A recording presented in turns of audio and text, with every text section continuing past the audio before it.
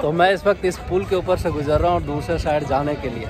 बहुत ज़्यादा प्रॉब्लम आज यहाँ पे पा तो मच्छी पकड़ने के चक्कर में कपड़े तो ज़रूर गीले कर लिए पर एक भी तो ये हमारा चाय बन रहा है। गुड मॉर्निंग दोस्तों welcome back to another video आज की ब्लॉग बहुत ही इंटरेस्टिंग होने वाली है, क्योंकि मेरे साथ एक है बाबू राज कैसे हैं? जी। तो हम सब मिल करके अभी जा रहे हैं वादी नमर के लिए यानी घूमने के लिए जा रहे हैं क्योंकि ईद की छुट्टी हुई है दो या तीन दिन का। तो इस खुशी में कहीं ना कहीं घूमते हैं ब्लॉग भी शूट हो जाएगा और आप लोगों के जितना अच्छा से अच्छा हो सकता है इन्फॉर्मेशन के साथ साथ ब्लॉगिंग भी प्रोवाइड करा सकूँ। तो फ़िलहाल आगे की ओर चलते हैं। तो आज का जो प्रोग्राम है बाबू राज मुझे लेके जा रहे हैं घुमाने के लिए। और हालाँकि ये बाबू राज का पीछे रूम है ये यहीं पे रहते हैं मेरे रूम से थोड़ा हट करके। तो आज ईद की छुट्टी है तो मैंने कहा चलो घूमने के लिए चलते हैं। पास में ही है बहुत ही अच्छा पैलेस है वादी नमर है। और इनको भी दिखा देते हैं और हम भी देख लेते हैं क्यों? जी। तो फ़िलहाल आगे की ओर चला जाए। हाँ। तो या अल्लाह सुबह से यार तो गाड़ी स्टार्ट करते हैं। घूमने के लिए जाने की तैयारी में गाड़ियाँ भी आ चुकी हैं और इस गाड़ी के अंदर है बाबू राज। क्योंकि इस गाड़ी को लेकर के यही आए हैं और इस गाड़ी में ऑलरेडी ये पहले से बैठे हैं। कैसे हैं? बहुत बढ़िया। तो फ़िलहाल आगे की ओर चला जाए। हाँ, आगे चलेंगे तो सीट बेल्ट सबसे पहले लगा लो क्योंकि सेफ्टी फ़र्स्ट है। आगे चलने से पहले क्यों ना मूड फ्रेश कर लिया जाए चाय पी करके। जी। तो चलें दीमा रेस्टोरेंट तो ये हमारा चाय बन रहा है। थैंक यू तो चाय कैसा रहा? बहुत बढ़िया। बहुत अच्छा रहा। स्पेशल चाय बनवाए हूँ बेचारे से। कटिंग चाय में उसे बोला स्पेशल और बना के दिया बहुत अच्छा रहा। यहाँ से तो मूड फ्रेश कर लिया हूँ चाय पी करके फ़िलहाल आगे की ओर चलते हैं। इस पैलेस पे मैं आया हूँ ये वादी नंबर। आज ऐसा लग रहा है जैसे कि मेला लग रहा है। और बहुत ज़्यादा भीड़ है ये आप लोग देख सकते हैं कितना ज़्यादा भीड़ है। मुझे पहले थोड़ा गाड़ी पार करना पड़ेगा। तो मैं इस पैलेस पे आया हूँ घूमने के लिए। ये आप लोग पीछे देख सकते हैं कि यहाँ का क्या नज़ारा है इस वक्त। हालाँकि बहुत ज़्यादा भीड़ है जहाँ तक नज़रें जा रही है ऐसा लग रहा है कि सिर्फ़ कुर्ता पजामा के सिवा कुछ भी नहीं दिख रहा है। और बहुत ज़्यादा भीड़ है आज के टाइम यहाँ पे, बहुत ज़्यादा। तो मैं आपको फ्रंट कैमरे से सामने दिखाता हूँ, फिर आप लोगों को थोड़ा अंदाज़ा लगेगा। तो ये बाहर का सीन है, ये इस तरह से और सामने भी गाँव के जैसे जैसे खेल दिखाया जाता है, वहाँ पे दिखाया जा रहा है। और दूसरे साइड बंदे जितने भी है, सबके सब यहाँ सेल्फी में लेने सेल्फी लेने में लगे हुए हैं। तो ये इस साइड का नज़ारा है। आप दूर तक जहाँ भी देखेंगे तो बंदे बड़े बड़े हैं यहाँ पे। तो मैं इस वक्त इस पुल के ऊपर से गुजर रहा हूँ दूसरे साइड जाने के लिए। बहुत ज़्यादा प्रॉब्लम आज यहाँ पे पार्किंग को लेकर के। भाईजान आप पहली बार आए यहाँ पे कैसा लगा? बहुत दिल का बहुत खुशी मिला मतलब आपको महसूस नहीं हो रहा कि सऊदी में इस वक्त? नहीं। मतलब सबसे अलग दुबई वाली फीलिंग आ रही है यहाँ पे। बहुत ज़्यादा भीड़ है इतनी ज़्यादा भीड़ है कि जैसे लगता है कि इंडिया के हम किसी मेले में आए। बहुत ज़्यादा मेले के हिसाब से बहुत ज़्यादा इस वक्त भीड़ है।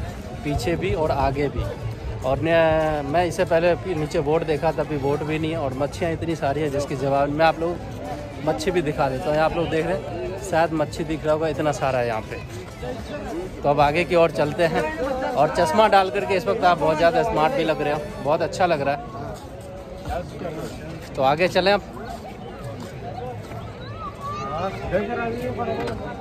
भाई क्या कर रहे हो? मच्छी पकड़ रहा हूँ। अच्छा? हाँ। पकड़ा रहा है? अभी तक तो पकड़ा नहीं आप लोग देखो कितने सारे अच्छा।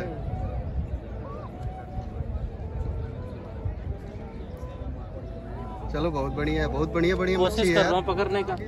वो भी साइड में बीच में पानी में जाने की ज़रूरत नहीं साइड में बैठ के ही पकड़ो। ठीक क्योंकि हाथ अंदर डाल रखा हूँ कोई आएगा तो मैं उसे पकड़ लूँगा। है ठीक है ठीक तो मच्छी पकड़ने के चक्कर में कपड़े तो ज़रूर गीले कर लिए, पर एक भी मच्छी हाथ में नहीं आया। क्योंकि बहुत छोटे छोटे जो मच्छी होते हैं ना, वो कुछ ज़्यादा ही चालाक होता है। और ये खान साहब भी लगे पड़े पकड़ने में, और ये भी अभी तक एक भी नहीं पकड़ पाए।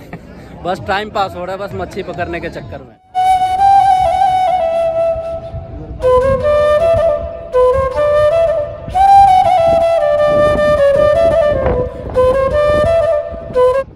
इस पॉइंट को घूम घूम के बहुत मज़ा आया। बाबूलाल, शायद पहली बार इतना मज़ा आया होगा। क्योंकि बहुत अच्छा यहाँ का मौसम है जो पहाड़ों के ऊपर से झरने जो गिरते हैं ना पानी, इस वक्त उसे बंद कर रखा है छुट्टी की वजह से।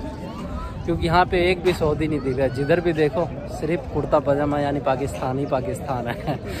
तो अब चलते हैं दूसरे पॉइंट पे और दूसरे पॉइंट पे चल करके देखते हैं। क्यों?